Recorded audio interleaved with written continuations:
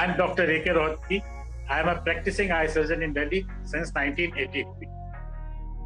Welcome to Navbharat Times. The topic for today is how to prevent eyes from the computer rays or the mobile.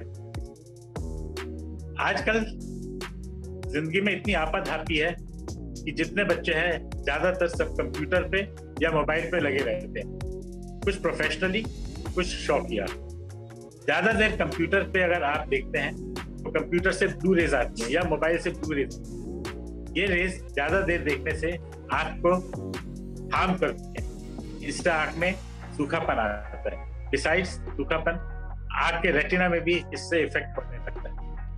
हमें ये ध्यान रखना चाहिए, जब भी हम कंप्यूटर या ज़्यादा देर मोबाइल देखें या कोई भी इलेक्ट्रॉनिक डिवाइस देखें तो उसके लिए कुछ एहतियात बरतें। सब प्रिकॉशन भी शुड टेक जैसे हमें लेंसेज लगाने चाहिए, जिनमें ब्लू रेस कट कर सकते हैं। आजकल बड़े अच्छे अच्छे चश्मे आते हैं जो कि ब्लू रेस कर सकते हैं या एंटी ग्लेयर ग्लासेस आते हैं, जिससे कि ब्लू रेस भी कट हो सकती है।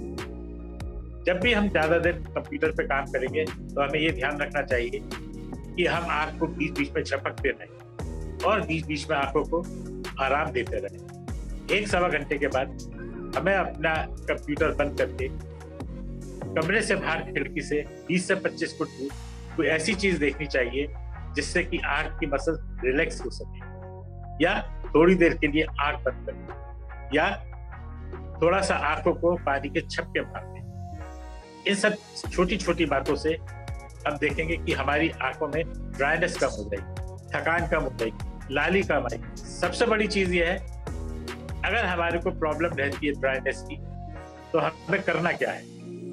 हमारी आँखों की ड्राइनेस टीयर की वजह से होती है टीयर है। टीयर्स की तीन फ़िल्म होती है।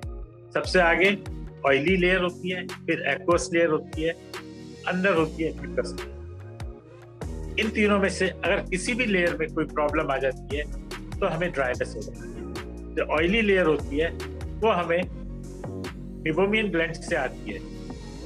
मिबोमियन ग्लैंड से हमारी ऑयली लेयर सिक्रीट होती है।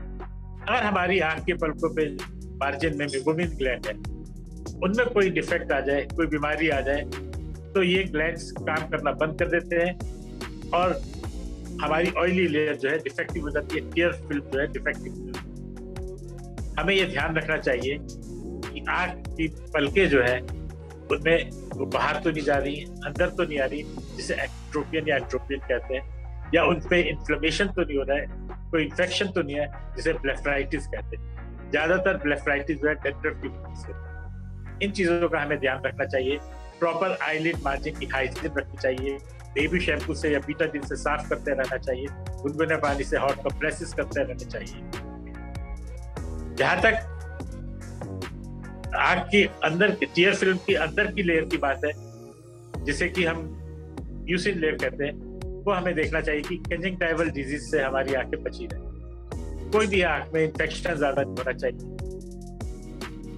कोई ज़्यादा कॉस्मेटिक्स नहीं लगाने चाहिए, जिससे कि कंजंक्टाइवल इन्फेक्शन हो जाए।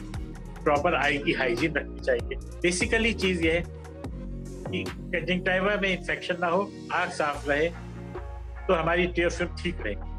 जब तक टीयर फ़िल्म ठीक रहेगी, हमें ड्राइनेस हमारे को बिसाइड्स कंप्यूटर से अपनी आँखों को बचाव के लिए कुछ ग्लासेस आते हैं।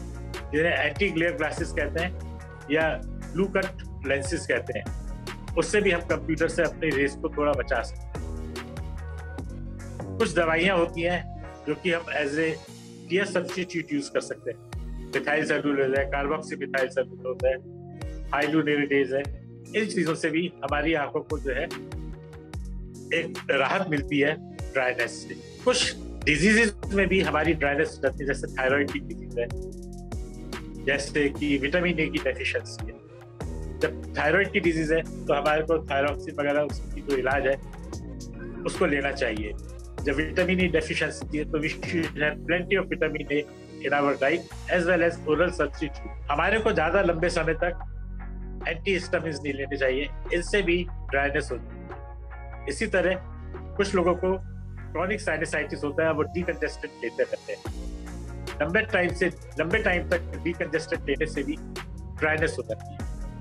तो जब भी आपको थोड़ा सा लगता है कि एंटी हिस्टामिन या डिकंजेस्टेड लंबे टाइम के लिए लेने तो अपने डॉक्टर से ज़रूर सलाह करें कि उससे कोई साइड इफेक्ट्स तो नहीं इसी तरह डाइट में हमारे को ओमेगा थ्री फैटी एसिड लेना चाहिए, इससे भी पीएस प्रोडक्शन में हेल्प मिलती है। बिसाइड्स दिस थोड़ा सा विटामिन बी है, विटामिन ई है, विटामिन ए है, इसको भी डाइट में लेते रहें। इससे भी ये फ़िल्म ठीक बनती रहती है। अगर आपको ये बातें समझ अच्छी लग रही है तो आप लाइक करें शेयर करें और सब्सक्राइब करें इस चैनल थैंक यू